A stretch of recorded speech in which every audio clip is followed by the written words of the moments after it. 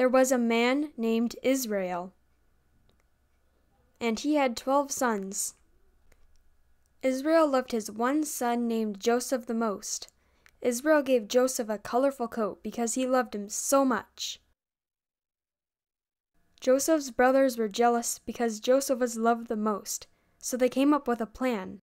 Hey, look, Joseph is coming. Let's throw him into this hole. Yeah. Wait, let's grab his coat and dip it in blood so that father thinks a wild animal has killed him. They gave the bloody coat to their father. Their father knew it was Joseph's coat and cried out, This is Joseph's coat, and he is dead! Meanwhile, some people found Joseph in the hole his brothers had left him in. They took him out and sold him as a slave to some passing merchants for twenty pieces of silver.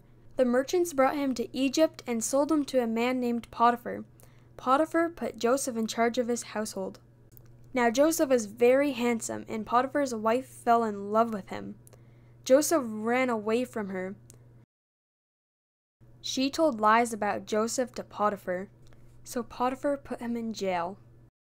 The king, or as the people called him, Pharaoh, put his cupbearer and baker in jail with Joseph because he was mad at them. The baker and the cupbearer both had disturbing dreams and had no one to tell them what it meant. The baker and I both have disturbing dreams, and we have no one to tell us what they mean. God can help me tell you what your dreams mean. In my dream, there was a grapevine with three branches. I took off some grapes and squeezed into Pharaoh's cup, which was in my hand. Then I gave it to Pharaoh to drink from. This is what your dream means. The three branches are three days, and in three days, Pharaoh will make you his cupbearer again. Now tell me the meaning of my dream. In my dream, there were three plates on my head, and all kind of baked goods in the top plate. But there were birds eating all the food out of it.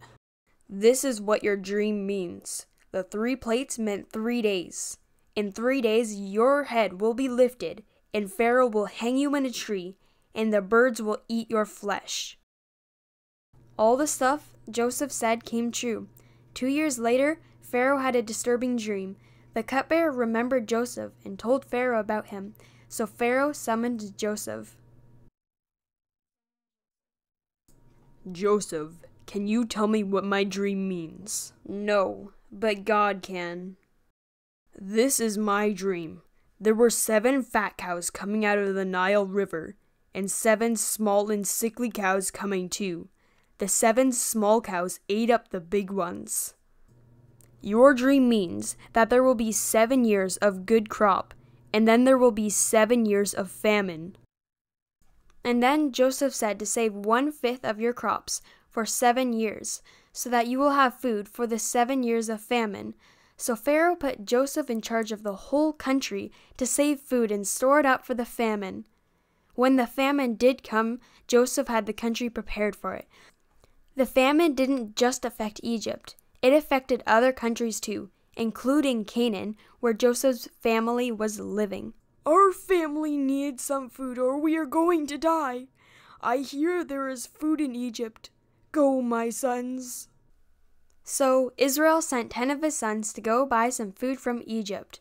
He did not send his youngest son for fear he would get hurt.